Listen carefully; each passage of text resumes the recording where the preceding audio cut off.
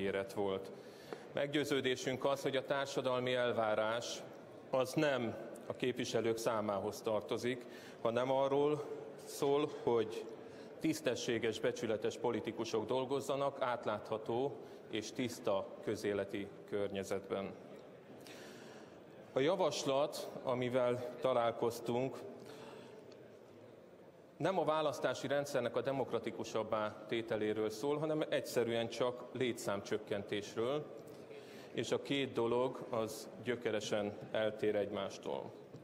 Sőt, a változtatásoknak a jelentős része sokkal inkább szolgálja a Fidesznek a pártpolitikai érdekeit, mint, mint hogy elősegíteni, illetve a Fidesznek a pártpolitikai érdekeit, és elősegíti azt, hogy az erősek még erősebbek legyenek.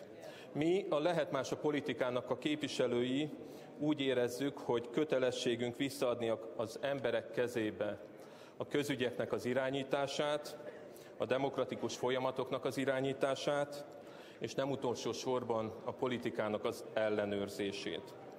Mi erre kaptunk meghatalmazást,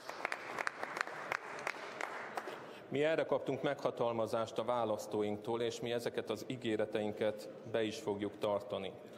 Ennek a törekvésünknek viszont a legnagyobb ellensége az, hogyha a döntéshozatali folyamatokból kizárjuk az embereket, a civil szervezeteket, az olyan lokálpatrióta embereket, akik eddig is nagyon sokat tettek a saját településükért. Amikor, amikor az LNP megfogalmazta a célkitűzéseit, akkor kiálltunk különösképpen a civil társadalom megerősödéséért és a helyi közügyekben való részvételükért, illetve annak elősegítéséért. A Téper 32-es javaslatot jegyző képviselő társaim a szigorításokkal, amelynek a részleteibe én most nem fogok belemenni, hiszen megtették már előtte más képviselőtársaim. Beszélhetnék itt az ajánlószervénygyűjtésről, a kompenzációs listának az állításáról, és sorolhatnám tovább. Tulajdonképpen ezek a képviselők ellehetetlenítik ezeket a civil szervezeteket, illetve azt, hogy ezek a szervezetek érdemi képviselettel rendelkezzenek az önkormányzatokban. Nézzük meg, hogy kiket zárunk ki ha megnézzék, majd minden városban vannak a képviselőtestületben civil szervezetek, akik most nem fognak bejutni. Ilyenek természetvédők, a nagy családosok, a kerékpárosok, a polgárőrök, és sorolhatnám tovább. És még egy fontos dolog, dolgot hadd említsek meg itt a civil szervezeteknél.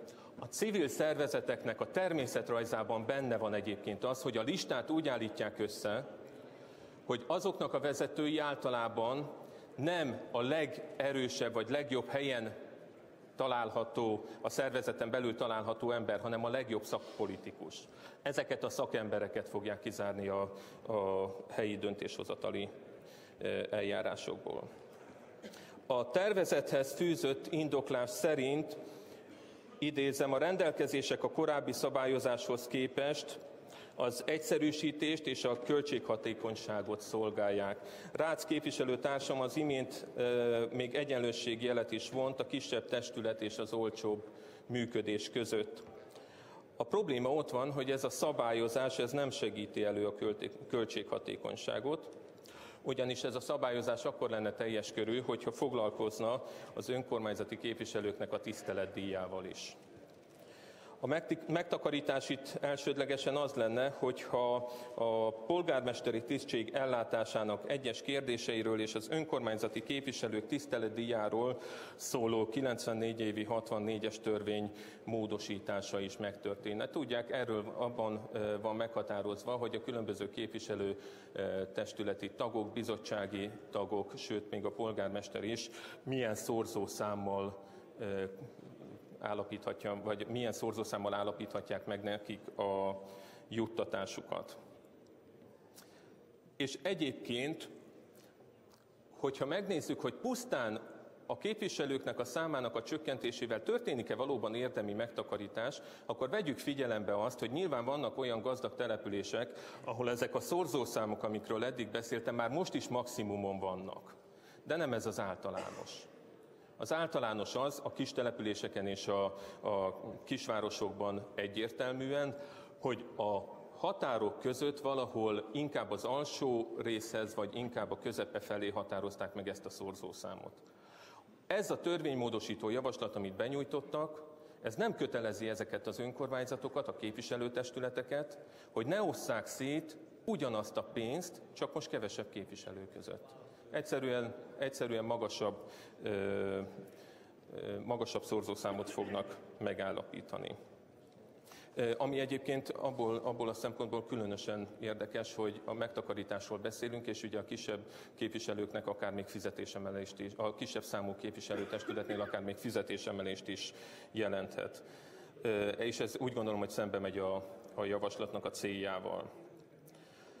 Természetesen lehetnek megtakarításokat tenni. Van, lesz is javaslat bőven, ami nem ide tartozik feltétlenül, de mindenképpen meg szeretném említeni. Például mondjuk az önhibáján kívül nehéz gazdasági helyzetbe került települések, vagy a működésképtelen önkormányzatok egyéb pályázatára benyújtott településeken a képviselőknek legyen kötelező lemondani a tiszteletdíjukról. A Hargitai képviselőtársam említést tett a kis településekről. Engedjék meg, hogy elmondjam, hogy a javaslat értelmében Ivádon a 6 fős, 400 fős településnek vagyok a polgármestere, a 6 fős képviselőtestület 5-re csökken, amire mondhatják azt, hogy, hogy nem számottevő, de a hatból az öt az igenis számottevő, pláne úgy, hogy ezeken a kis településeken egyébként általában olyan emberek látják el a feladatokat, akik, akik nagyon sok esetben nálunk például három műszakban dolgoznak, tehát a működőképesség és a határozatképességnek a, a rovására megy, hogyha csökkentjük a létszámukat. És egyébként pedig a megtakarítás havi 23 ezer forint lesz Ivádon a javaslat értelmében. Hargitai képviselőtársam azt javasolta, hogy a gazdaság fellendítésére használjuk majd fel ezt a pénzt, meg fogjuk tenni.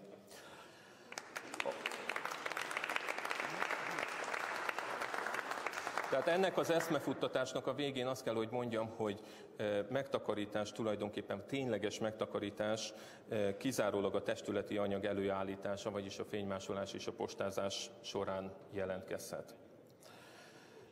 Az új szabályozás értelmében, hiszen, mint említettem, mi a részvételi demokráciát tűztük ki a lehet más a politika, az igazságosság és a, a fenntarthatóság mellett alap célkütívzésnek. Ott is sérül, nem csak ott, hogy a civil szervezeteket és egyébként azokat az embereket kizárják a döntéshozatalokból, akik eddig is sokat tettek a településekért, hanem ott is sérül, hogy mostantól kezdve egy képviselőre sokkal több lakos jut a problémáknak és a, a megoldásoknak, illetve a problémák becsatornázása és a megoldásoknak a lehetősége lényegesen csökken, arról nem is beszélve, hogy egyébként pedig ezek a képviselők sokkal jobban le lesznek terhelve, mint ahogy eddig voltak. Aztán, aztán van egy másik aggodalmunk, mégpedig a tiszta, átlátható önkormányzati működésnél Kérdés az, hogyha mondjuk a, az kis létszámú képviselőtestületeknek a száma tovább csökken, akkor vajon ez elősegíti-e a korrupciónak a, az erősebb megjelenését? Sokkal könnyebb kiépíteni ezeket a helyi kis királyságokat, hogyha csak néhány emberrel kell ö, ö, leboltolni a dolgokat, vagy nem tudom, hogy